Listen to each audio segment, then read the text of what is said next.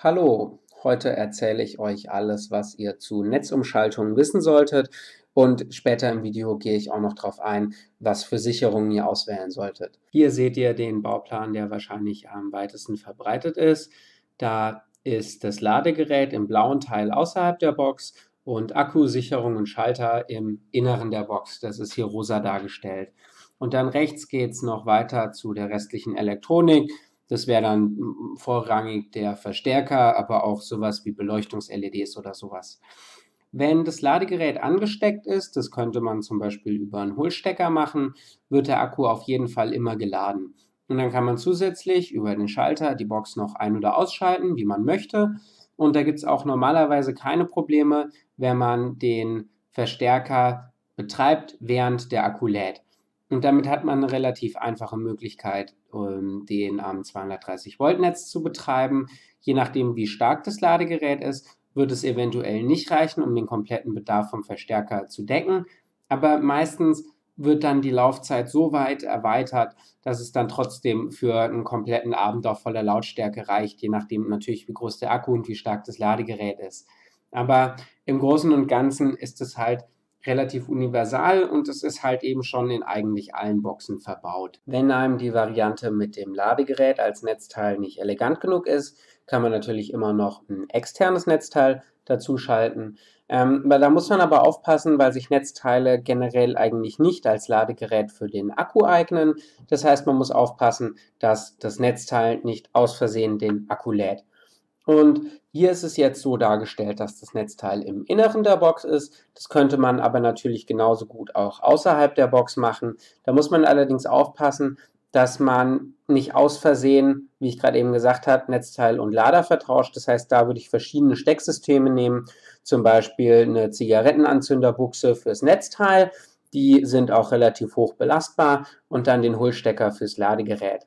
Im Inneren der Box hat man dann einen Umschalter, da reicht auch wieder ein einpoliger aus und der Umschalter hat dann in dem Fall hier wahrscheinlich drei Stellungen, eine ein, eine aus und noch eine Einstellung und je nachdem, welcher Kontakt gerade durchgeschaltet ist, bekommt der Verstärker, der dann wieder auf der rechten Seite wäre, seinen Strom vom Netzteil oder vom Ladegerät. Ladegerät und Akku haben wieder ähm, dauerhaft Verbindung. Das heißt, da ist kein Schalter, der so unterbrechen muss. Und zwar, damit man eben auch die Box laden kann, während die Box ausgeschaltet ist. Der Schaltplan hat natürlich einige Nachteile. Zum Beispiel hat man zwei Stecker, die nach außen gehen und man muss auch mit dem manuellen Umschalter eben immer umschalten. Das geht auch noch ein Stückchen eleganter und zwar mit Relais und das seht ihr hier. Da ist dann alles innerhalb der Box integriert. Das hat aber natürlich den Nachteil, dass man selbst mit 230 Volt hantieren muss, was vielleicht für komplette Anfänger dann eher ungeeignet ist. Man muss sich damit eben schon ein bisschen auskennen, weil eben davon Lebensgefahr ausgeht im Gegensatz zu 12 Volt. Gut, dann seht ihr hier, dass Ladegerät und Netzteil direkt miteinander verbunden sind auf der 230 Volt Seite. Ladegerät und Akku sind aber dieses Mal durch einen Schalter getrennt. Das liegt dann an folgendem. Die meisten Ladegeräte haben zum Beispiel eine LED verbaut und diese LED leuchtet, wenn das Ladegerät eingeschaltet ist oder es Power hat einfach. Ähm, jetzt ist es allerdings so, dass man das Ladegerät auch aus der Steckdose rausziehen kann und wenn es am Akku angesteckt ist, leuchtet diese LED immer noch. Das heißt, man muss aufpassen, dass die Box im ausgeschalteten Zustand auch wirklich komplett aus ist. Dafür ist dann das Relais zuständig. Das Relais kann man sich als Art automatischen Schalter vorstellen. Wenn an dem unteren Rechteck mit dem Strich durch eine Spannung anliegt, dann wird der obere Schalter oben drüber oder die zwei Schalter oben drüber ähm, rangezogen und somit wird umgeschaltet.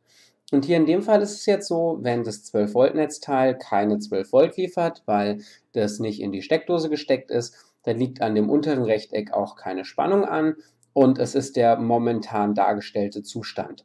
Und da sehen wir, dass das Ladegerät nicht mit dem Akku verbunden ist und der Verstärker bekommt seinen Strom vom Akku. Wenn jetzt ähm, 230 Volt am Netzteil anliegen, liegen 12 Volt am Relais an und der Schalter schaltet um. Dann bekommt der Verstärker seine Spannung vom Netzteil und Ladegerät und Akku haben eine Verbindung. Und dann gibt es natürlich hinten dran immer noch den ganz normalen Ein-Aus-Schalter, aber das ist eben nur ein einpoliger Schalter mit zwei Stellungen, eben die Ein- und die Ausstellung. Jetzt stellt sich natürlich die Frage, welches die richtigen Relais sind. Bei Reichelt bestelle ich meistens meine Elektronik und da gibt es bei Relais zwei Arten, die in Frage kommen. Entweder die Miniaturrelais oder die Print- und Steckrelais. Ähm, alle anderen äh, Relais sind entweder ungeeignet oder wahrscheinlich für die Anwendung von mobilen Boxen viel zu groß.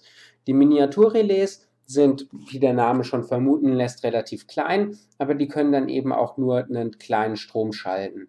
Das reicht für die meisten Boxen aus, sowas wie die tragbaren Tenöre oder auch ein Kinter MA700 müsste man mit den meisten Modellen auch schalten können. Und wenn es dann ein bisschen größer wird, oder wenn man einfach auf Nummer sicher gehen möchte, dann nimmt man sich ein Print- oder Steckrelais. Jetzt bin ich hier bei Print- und Steckrelais. Da wählen wir oben bei Ausführung direkt mal zweimal Wechsler aus, weil wir nämlich ein Relais brauchen, das zwei Schalter direkt integriert hat. Und das müssen auch Umschalter sein. Es reichen zum Beispiel keine Schließschalter.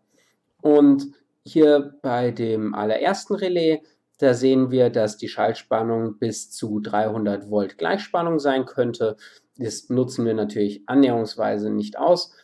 Und die Voltage DC, was hier angegeben ist, das ist eigentlich das Allerwichtigste. Und das ist nämlich die Spannung, mit der die Spule betrieben werden kann. Wenn ich die Spannung zu niedrig mache, dann reicht die, äh, das Feld der Spule nicht aus, um den Schalter umzulegen. Und wenn man die Spannung ähm, an seiner Box zu hoch hat, wie die angegebene Spannung, dann ähm, brennt die Spule eventuell durch. Dann gibt es als nächstes den Innenwiderstand, der sollte möglichst hoch sein, damit einfach der Ruhestrom des Relais äh, möglichst gering ist. Aber das ist jetzt wirklich was, was man nur auswählt, wenn man zwei ansonsten gleiche Relais hat. Und dann der Strom, das ist der Strom, der maximal geschaltet werden kann. Das sind in dem Fall von dem ersten Relais hier direkt 8 Ampere. Und dann ist es zugleich auch noch eins der günstigsten Relais, die überhaupt in Frage kommen. Das heißt, dieses allererste Relais ist wirklich super geeignet für die allermeisten Lautsprecher. Ihr habt in den Schaltplänen ja jetzt schon ein paar Sicherungen gesehen. Ich setze die Sicherung immer hinter jede Spannungsquelle, außer hinter das ähm, Ladegerät, weil das Ladegerät kann sowieso keinen unendlich hohen Strom liefern. Außerdem ist es auch relativ fehlerunanfällig, weil eben die Zuleitungen sehr simpel sind und es gibt keine relativ komplizierten Bauteile, wie zum Beispiel in einem Verstärker, wo mal schneller ein Kurzschluss passiert ist. Aber wenn ihr auf Nummer sicher gehen wollt, dann setzt ihr direkt hinter das Ladegerät auch nochmal eine Sicherung. Es ist immer hilfreich, die Sicherung auch ähm, nicht nur elektrisch gesehen direkt hinter die Quelle zu setzen, sondern auch ähm, wirklich in eurer Box, weil dann die Zuleitungen zur Sicherung möglichst kurz sind und deshalb auch die Wahrscheinlichkeit dafür, dass ein Fehler passiert, relativ gering ist. Bei Sicherungen gibt es bei Reichelt wieder einige Auswahl aber ich verwende da in letzter Zeit meistens die FKS bzw. Kfz Flachsicherung, die man aus jedem Auto kennt. Früher habe ich immer die 5x20 mm Feinsicherung verwendet, aber in letzter Zeit nehme ich lieber die Kfz-Sicherungen, weil die robuster sind, besser erhältlich sind, auch vor Ort, weil die Feinsicherung wüsste ich jetzt nicht, in welchem Laden ich die bekommen sollte. Und ähm, Flachsicherungen gibt es wirklich in, bei den meisten Tankstellen, im Baumarkt, überall einfach. Die Größe der Sicherung hängt von zwei Faktoren ab. Zum einen, wie viel Strom im Falle von einem Kurzschluss überhaupt fließt und wie viel Strom im normalen Betrieb fließt. Da die Sicherung im normalen Betrieb nicht rausfliegen soll, ist es natürlich klar, dass da der Strom größer sein muss als ähm, der, der eigentlich fließt. Und im Falle von einem Kurzschluss muss die Sicherung eben auf jeden Fall rausfliegen. Das heißt, die Sicherung muss kleiner sein als der Kurzschlussstrom. Ähm, Soweit so gut. Jetzt ist es natürlich alles ein bisschen ähm, schwierig herauszufinden, aber ich sag mal zum Beispiel für einen Kinter MA700 oder für einen TA 2024 reicht eine 4 oder 5 Ampere Sicherung gut aus. Aber mit den meisten Akkus reicht ähm, ge oder geht auch eine 10 Ampere Sicherung, weil die meistens mehr als 10 Ampere liefern können.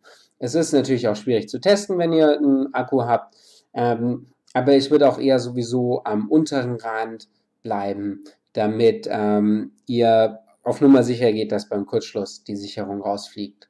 Wenn ihr die Auswahl zwischen trägen und flinken Sicherungen habt, solltet ihr eher die trägen Sicherungen wählen.